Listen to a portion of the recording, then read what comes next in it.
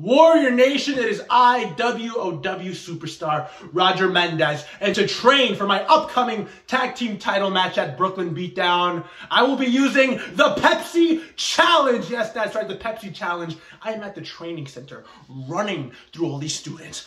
Bang, bang, bang. And guess what? I'm left in the ring, still breathing, still standing. I was inspired by a story Joey B used to tell us about Big Vito going to the Iron Mike Sharp school and running through everybody.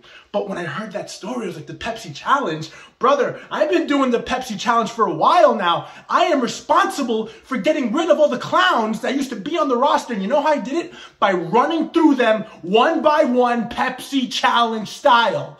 I've been doing the Pepsi Challenge for a minute now. I am the master of the Pepsi Challenge because no one does it better than me, and especially not Big Vito. So when you talk about the Pepsi Challenge, you talk about Roger Mendez. And the Pepsi Challenge is going to help me win that tag team title match.